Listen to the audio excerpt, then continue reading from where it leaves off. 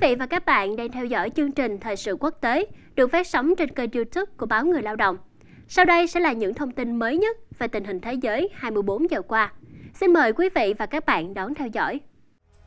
Cựu Tổng thống Mỹ Donald Trump ngày 26 tháng 1 bị tòa án yêu cầu bồi thường 83,3 triệu USD cho cựu nhà báo Ezin Caron. Theo hãng tin Reuters, Bồi thẩm đoàn Tòa án Liên bang Manhattan, New York mất chưa đầy 3 giờ để đưa ra phán quyết nêu trên sau 5 ngày xét xử. Số tiền ông Trump bị yêu cầu bồi thường vượt xa mức tối thiểu 10 triệu USD mà bà Caron mong muốn.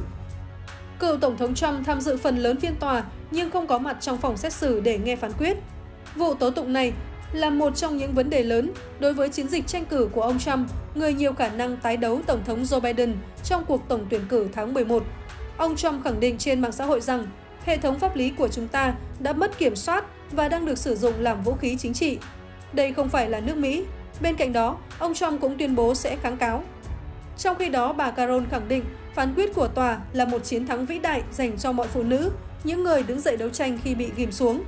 Người phụ nữ 80 tuổi đồng thời nhấn mạnh phán quyết là một thất bại bẽ bàng đối với những kẻ bắt nạt cố gắng đàn áp một người phụ nữ. Bà Caron, người từng làm việc tại tạp chí Elle, kiện cựu Tổng thống Trump hồi tháng 11 năm 2019 sau khi ông phủ nhận cưỡng hiếp bà tại Manhattan, New York vào giữa những năm 1990. Bà khẳng định hành động của ông Trump đã hủy hoại danh tiếng của một nhà báo được kính trọng, người nói lên sự thật. Bồi thẩm đoàn yêu cầu ông Trump đền bù 18,3 triệu USD cho bà Caron, trong đó có 11 triệu USD tiền bồi thường tổn hại danh dự. Ông Trump còn phải bồi thường 65 triệu USD nữa cho bà Caron. Đây là số tiền bồi thường trừng phạt mà bà khẳng định là cần thiết để ngăn ông Trump tiếp tục bôi nhọ bà. Cựu Tổng thống Trump 77 tuổi nhấn mạnh ông chưa từng nghe đến bà Caron và bà bịa chuyện để tăng doanh thu cho cuốn hồi ký của mình. Vào tháng 5 năm 2023, một bồi thẩm đoàn khác đã yêu cầu ông Trump bồi thường 5 triệu USD cho bà Caron vì lời phủ nhận tương tự vào tháng 10 năm 2022. Bồi thẩm đoàn này khi đó khẳng định ông Trump từng phỉ báng và lạm dụng tình dục bà Caron. Cựu Tổng thống Trump vẫn đang kháng cáo phán quyết này. Cả hai vụ kháng cáo có thể mất nhiều năm. Trước đó, ông Trump ra làm chứng hôm 25 tháng 1 là để bào chữa cho chính mình trong phiên tòa xét xử tội phỉ báng nhà báo Ezin Caron. Tuy nhiên, cựu Tổng thống đã không nhìn vào bồi thẩm đoàn trong quãng thời gian ngắn ngủi đó, mà tập trung vào việc đưa ra những tuyên bố gay gắt. Vị thẩm phán Louis A. Kaplan cho rằng đã vượt qua những quy định mà ông Trump buộc phải tuân theo. Trước đó, ông Trump bị ông Kaplan yêu cầu không được đưa ra bất kỳ lời khai nào tranh chấp hoặc làm suy yếu các cáo buộc lạm dụng tình dục Trước khi lên tiếng, cựu Tổng thống đã tỏ ra khó chịu trước những hạn chế đó khi thẩm phán và luật sư cả hai bên thảo luận về những gì ông có thể nói. Tôi chưa bao giờ gặp người phụ nữ đó, tôi không biết người phụ nữ đó là ai, tôi không có mặt tại phiên tòa. Ông Trump cắt ngang từ chỗ ngồi ở bàn bảo chữa từ khi bồi thẩm đoàn không hiện diện trong phòng, khiến thẩm phán phải nhấn mạnh rằng ông không được phép làm gián đoạn quá trình tố tụng. Trong khi đó, trong chưa đầy 3 phút đối diện với bồi thẩm đoàn, cựu Tổng thống nhắc lại rằng bà Caron đã nói những điều mà ông cho là lời buộc tội sai trái, cho rằng mình chỉ muốn bảo vệ bản thân, gia đình và chức vụ Tổng thống. Thẩm phán sau đó đã yêu cầu bồi thẩm đoàn bỏ qua những lời của ông Trump. Cựu Tổng thống cũng đã sớm rời khỏi phiên tòa vào giờ nghỉ giải lao sau đó. Ông Donald Trump là người cuối cùng đứng trên bục nhân chứng trong phiên tòa. Các cuộc tranh luận cuối dự kiến diễn ra trong ngày 26 tháng 1. An ninh biên giới, vấn đề quyết định phần lớn chiến thắng trong chiến dịch tranh cử năm 2016 của cựu Tổng thống Donald Trump đang trở thành tâm điểm của chương trình nghị sự quốc gia Mỹ. Đây là một động lực tiềm năng cho ông Trump, nhưng là vấn đề đau đầu đối với Tổng thống Joe Biden. Thông điệp và chính sách nhân đạo của ông Biden cùng với sự suy yếu của đại dịch COVID-19 đã dẫn đến sự gia tăng số lượng người cố nhập cảnh trái phép vào Mỹ, góp phần làm gia tăng đáng kể các vụ bắt giữ ở biên giới. Vào đêm 11 tháng 5 năm 2023, giờ địa phương, điều khoản 42 chính sách hạn chế người di cư từ Mexico sang Mỹ để ngăn ngừa nguy cơ lây lan dịch COVID-19 chính thức hết hiệu lực.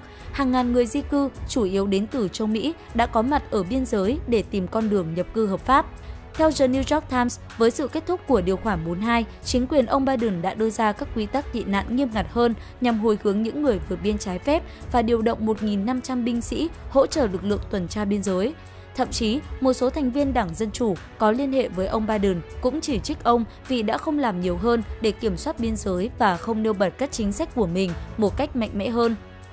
Bà Lane Erickson, người điều hành bộ phận quan điểm công chúng và chính sách xã hội tại Tổ chức Nghiên cứu Chính sách của Đảng Dân Chủ Third Way, cho rằng rõ ràng là Đảng Cộng Hòa vẫn chiếm thế thượng phong trong vấn đề nhập cư và mọi người không nghĩ rằng Đảng Dân Chủ đặc biệt quan tâm đến việc đảm bảo khu vực biên giới. Các cuộc thăm dò cho thấy sự không hài lòng của người dân đối với cách xử lý vấn đề nhập cư của ông Biden. Trong một cuộc thăm dò của ABC News, Washington Post vào đầu năm nay, chỉ 28% người Mỹ ủng hộ việc ông Biden xử lý vấn đề biên giới phía Nam.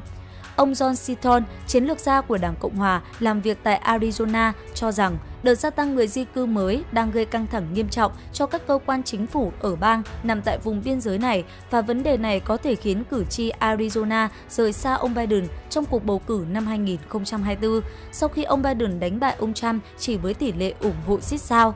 Trong khi đó, ông Trump, các quan chức Đảng Cộng Hòa và truyền thông bảo thủ trong những ngày gần đây đã leo thang các cuộc công kích vốn kéo dài nhiều năm qua của họ về vấn đề an ninh biên giới khi cho rằng ông Biden đã phớt lờ một cuộc khủng hoảng đang bùng phát. Cuộc bầu cử Tổng thống Mỹ năm 2024 đánh dấu một chương mới đầy kịch tính trong lịch sử chính trị nước này, với sự trở lại của cựu Tổng thống Donald Trump và sự hiện diện của Tổng thống đương nhiệm Joe Biden, cuộc đua hứa hẹn sẽ cực kỳ sôi động và gay cấn. Các vấn đề nóng bỏng như đại dịch COVID-19, biến đổi khí hậu và kinh tế toàn cầu đang nằm ở trung tâm của các chiến dịch tranh cử, trong khi cử tri Mỹ đối diện với sự lựa chọn quan trọng về hướng đi tương lai của đất nước. Thông tin mới nhất về cuộc tái đầu này là cựu Tổng thống Donald Trump giành chiến thắng trong cuộc bầu cử sơ bộ ở bang New Hampshire hôm 23 tháng 1, tiến gần hơn đến màn tái đấu với Tổng thống Joe Biden vào tháng 11 tới, bất chấp đối thủ Nikki Haley tuyên bố không rời cuộc đua. Phát biểu sau khi có kết quả nói trên, ông Trump tự tin khẳng định sẽ chiến thắng dễ dàng trong cuộc bỏ phiếu tại bang Nam Carolina ngày 24 tháng 2. Đây được xem là bang quê nhà của bà Haley, cựu đại sứ Mỹ tại Liên Hiệp Quốc. Đáp lại, bà Haley nhấn mạnh cuộc đua còn lâu mới kết thúc, đồng thời cho rằng việc đề cử ông Trump làm ứng viên tổng thống của Đảng Cộng hòa sẽ là một chiến thắng cho Tổng thống Biden. Từng là thống đốc bang Nam Carolina, bà Haley hy vọng một kết quả bỏ phiếu có lợi tại đó sẽ giúp bà có thêm sức mạnh để bước vào các cuộc bầu cử sơ bộ ngày siêu thứ ba, ngày 5 tháng 3 tới. Cuộc bỏ phiếu ở bang New Hampshire là lần đầu tiên cuộc đua trở thành ứng viên Tổng thống Đảng Cộng Hòa, chỉ còn có ông Trump và bà Haley. Theo hãng tin AP, ông Trump là ứng viên đầu tiên của Đảng Cộng Hòa giành chiến thắng trong cuộc bầu cử sơ bộ ở cả Iowa và New Hampshire kể từ khi hai bang này mở màn tiến trình bầu cử năm 1976. Đây là dấu hiệu cho thấy cử tri Đảng Cộng Hòa đã nhanh chóng tập trung sự ủng hộ cho ông Trump để giúp ứng viên này thắng cuộc đua trong nội bộ đảng. Ngay cả Tổng thống Biden, người giành chiến thắng trong cuộc bầu cử sơ bộ của Đảng Dân Chủ tại bang New Hampshire, cũng cho rằng ông Trump rõ ràng sẽ là ứng viên Đảng Cộng Hòa. Việc ông Trump có màn trình diễn ấn tượng nói trên còn đáng chú ý trong bối cảnh ứng viên này đang đối mặt với 91 cáo buộc hình sự. Cựu Tổng thống Mỹ đã biến điều này thành lợi thế để thu hút lá phiếu của cử tri Đảng Cộng Hòa.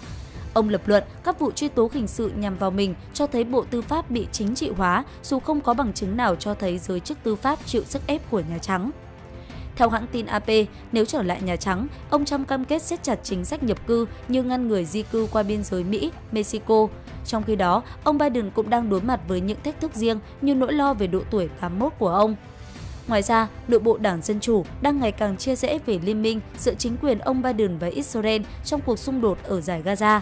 Điều này có thể ảnh hưởng đến kết quả cuộc bỏ phiếu tại các bang chiến trường.